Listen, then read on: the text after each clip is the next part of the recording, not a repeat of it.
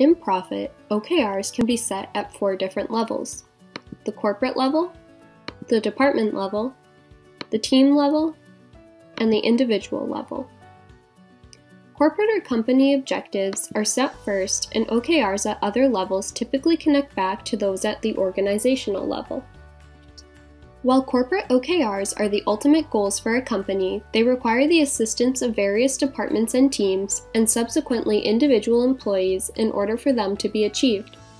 Thinking ahead about how each level can contribute to the organization's OKRs will help create a roadmap for your OKR experience.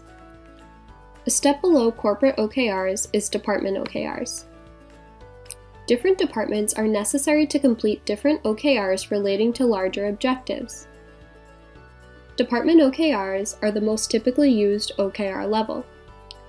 There may be instances, however, where you need a smaller group of people or a team made up of various departments in order to execute an OKR.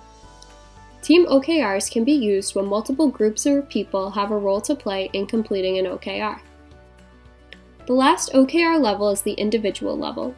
Employees have their own OKRs that may derive from others at the department or team levels, which are eventually passed down to the individual level, giving individual users the opportunity to contribute to larger goals.